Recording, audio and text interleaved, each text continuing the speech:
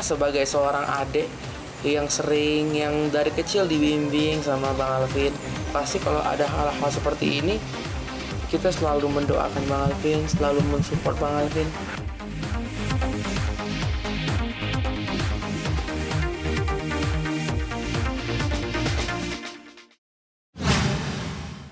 Iya, alhamdulillah persiapannya mulai dari diri sendiri.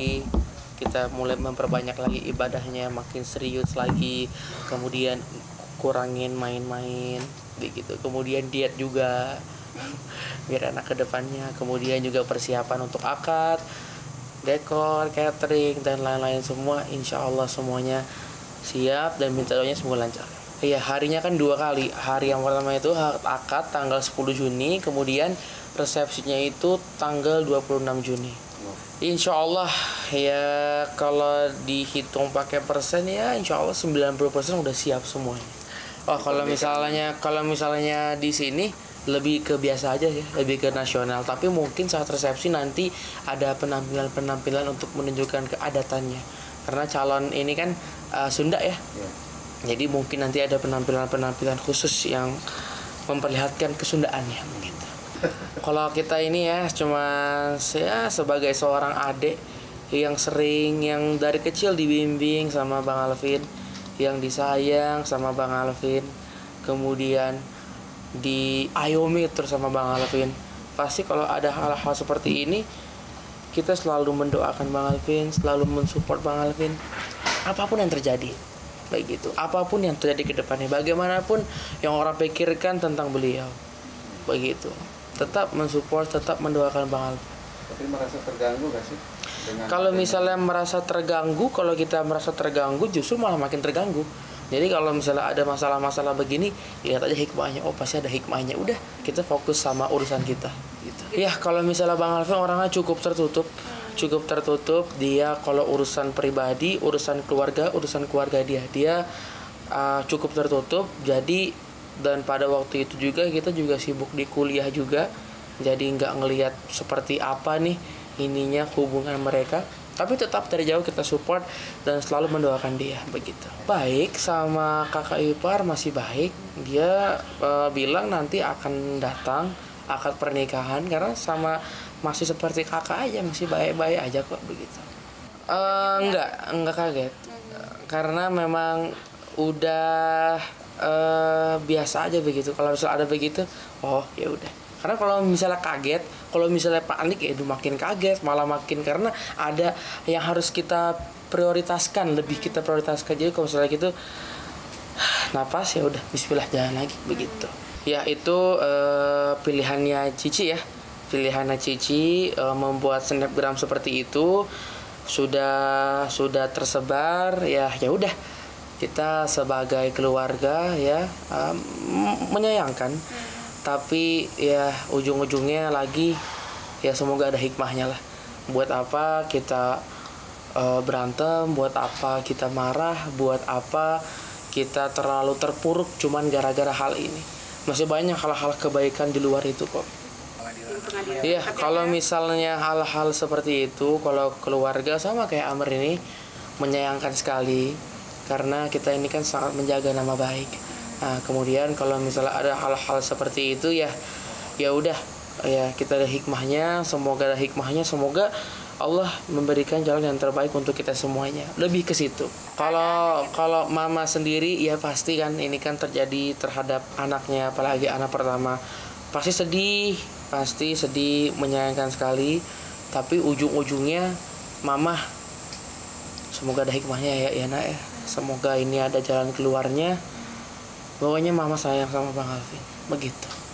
Ya, kalau misalnya ya setiap orang ini kan pasti ada ada dosa.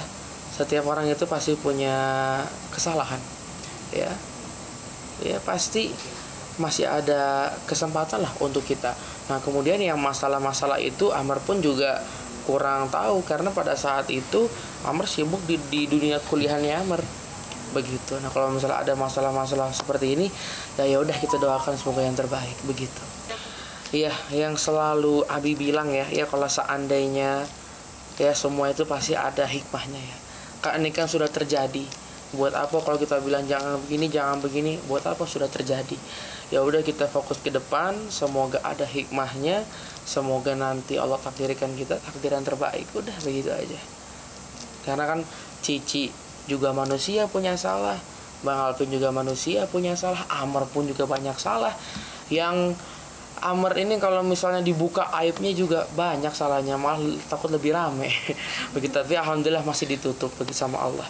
Begitu. Ya ya udah semoga ini bisa jadi evaluasi buat Amr buat Bang Alvin buat Cici dan buat semuanya. Jadi jadi pelajaran gitu iya kalau misalnya Bang Alvin orangnya cukup tertutup karena dia pengen masalah ini masalah keluarga saja. Dia tidak mau masalah ini dilihat oleh orang masalah ini diurus-urusi oleh orang. Bang Alvin pengen menyelesaikannya sendiri hanya keluarga saja yang tahu. Tapi ini sudah terjadi ya ya udah semoga ada hikmahnya. Buat apa kita depresi? Kalau misalnya pihak keluarga pasti pengen yang terbaik pihak keluarga Cici pengen yang terbaik pihak keluarga Bang Alvin pengen yang terbaik begitu. Ini semoga ada hikmahnya di balik semua ini gitu. Oh pasti pasti. Ngomong dalam artian seperti tadi support. support. Bang Alfi mau apa pun kata orang mau kata orang begini mau kata orang begitu mau seluruh dunia ngomong lu begitu enggak gue bakal support lu gue bakal ada di sisi lu. Begitu. Jadi buat apa kita Bang Alfi gimana? Bapak begini itu malah makin membuat dia sedih malah makin karena membuat dia sakit. kan mungkin dia berpikir bahwa ketika ada terjadi hal seperti ini orang mau menjadi dia semua gitu kan. Mm-mm. tapi kan ya hanya orang yang nggak tahu aja permasalahan sebenarnya seperti apa yang menjauhi dia. Makanya kita yang dekat sama Alvin ya kita masih support masih support sayang, lah masih gitu. sayang masih nggak akan pergi meninggalkan dia gitu Iya. kan. Karena jangan sampai dia merasa sendiri Sendiri, kesepian iya. itu. Enggak itu kebetulan aja ya kalau aib kita dibuka juga aduh Ngedok. kita juga ngedon juga sedih juga. Alhamdulillah masih ditutup begitu. Tapi jadi teman-teman bersyukur yang aibnya masih ditutup ya. Kalau Bang Alvin balik lagi kalau persoalan rumah tangga dia sangat amat tertutup karena dia punya prinsip rumah tangga itu persoalan dia sendiri begitu. Sekalipun kita paling ini cuma kasih pesan-pesan doang begitu. Bahwasanya sedang terjadi seperti ini. Ya udah kita pun juga harus dewasa. Oh dia pun nggak mau cerita. Ya udah semoga yang terbaik. Semoga ada jalan keluarnya begitu.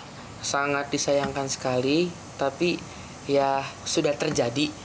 Buat apa kita marah-marah? Buat apa kita ribut-ribut? Buat apa kita berantem? Ya malah makin rame. Kalau ada api ya jangan ditambah api lagi malah makin rame ya ya udah. Itu sudah terjadi. Semoga ada hikmahnya. Amar pun tetap mendoakan Bang Alvin dan Amar pun juga mendoakan Cici. Semoga sehat selalu panjang umur. Dan Allah memberikan takdir yang terbaik untuk mereka berdua begitu. Jadi minta doanya buat teman-teman yang terbaik untuk semuanya. Yang terbaik untuk Bang Alvin yang terbaik untuk Cilarisa insya Allah Allah kasih yang terbaik buat semuanya. Amin